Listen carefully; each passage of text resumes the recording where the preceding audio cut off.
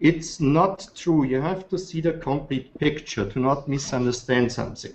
Yeah, we have some big struggles in the European Union because we have countries who rely completely on landfills, and they have a very strong landfill lobby with a lot of profit yeah, and business practices I wouldn't like to discuss.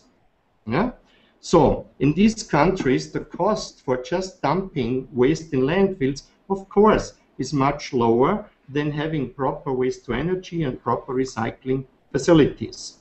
Now, we have built in some countries recycling facilities and waste to energy facilities, let's say, which would take 70 US dollars per ton. And then you have in a neighboring place, not far away, a waste dump which takes the waste for $20 per ton. Yeah? And so the waste is going to where it's cheaper. I learned in the United States a very important political statement was it's economics stupid. Yeah? You have to look into the economics. And there is a very strong economics on the part of the landfill lobby. It's big business. Environmentalists, I would say, and I'm myself coming from the environmental lobby and from environmental organizations, people who understand about environmental issues are more likely to be pro waste to energy. I give you a most recent example. The third largest town in Austria is Linz. Yeah? Linz is a city which does not have a very good air quality. They have some problems because of industry and poor meteorology. Now, the idea was to make a waste to energy plant by the utility company of Linz in the city of Linz. You would think, according to US thinking, and I've lived quite a time in the US, this is unthinkable. So we prepared, really checking alternatives, preparing among the alternatives what we would recommend.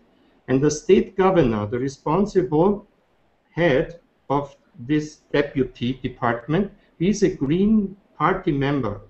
He issued the permit for that plant.